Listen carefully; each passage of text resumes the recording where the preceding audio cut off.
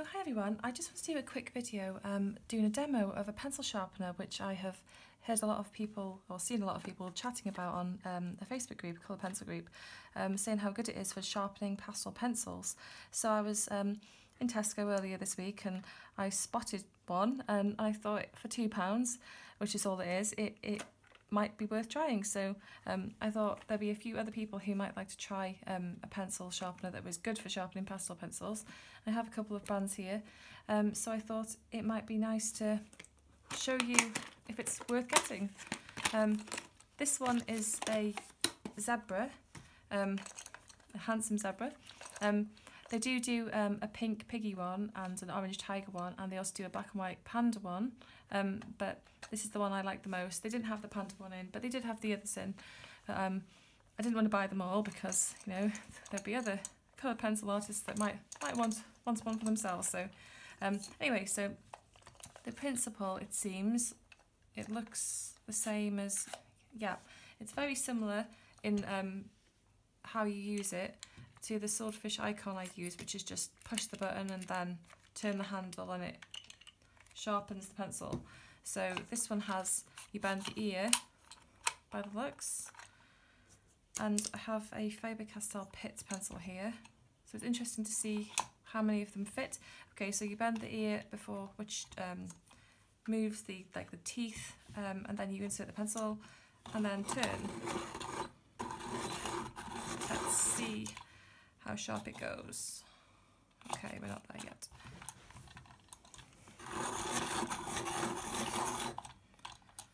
Amazing that you can get this for two quid, really, isn't it?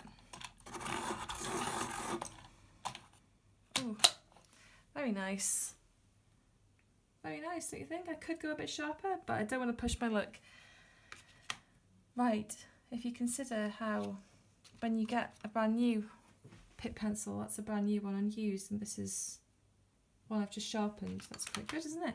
Right, okay, so I'll use a, um, there's a, um, what are they called? Um. It's completely slipped my mind.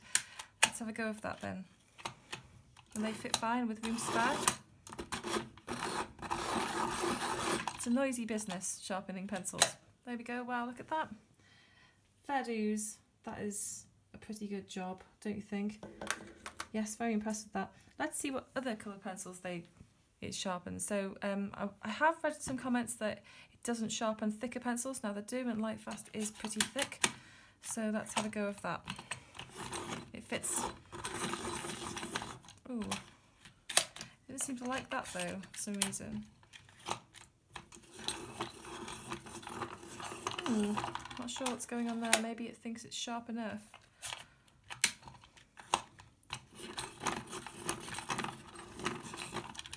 Hmm, not sure what's going on there.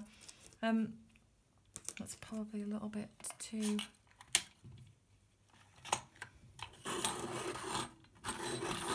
That's a polychromo, and well, I mean, that's done a really good job. This is a kid's pencil sharpener, £2. Bargain. I can see why some people have stocked up. this is a Derwent drawing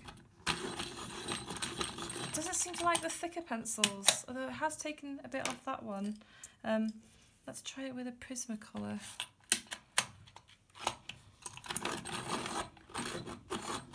Yeah, it seems to work fine on the thinner cored pencils.